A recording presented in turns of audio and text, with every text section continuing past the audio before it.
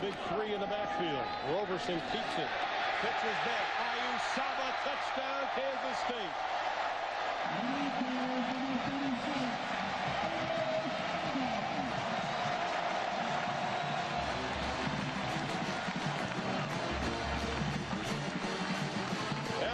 Putting that big backfield in it in their score package. They call it Nick Vic and Thick.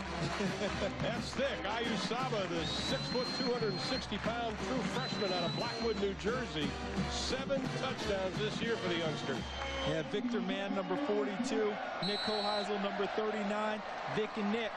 And thick, as you just alluded to, Ayo Saba. Boy, you get that 260 going in one direction, Charles, hard to stop. And it truly runs downhill. And here it is coming right at you at home. Watch your easy chair. Look at Victor Mann, number 42. Excellent block, clearing some space. You don't need to clear a lot for the big fella. There they are, the score formation. That's what the score is what they call, is the terminology that Kansas State uses for that package.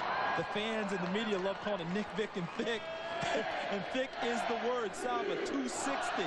Anyone want to do the math on that? 730. 730, baby. Pounds. All running at you. Okay, that's truly running downhill when those three are going because the field will tilt. It'll it be Saba again on third and goal? No. The other bit of a back. Touchdown. Kansas State taking it in. The other fullback back there. Nick Hoheisel.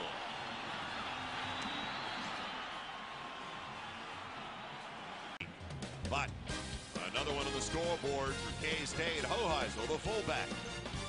It's close in Manhattan. And you're rushing headlong.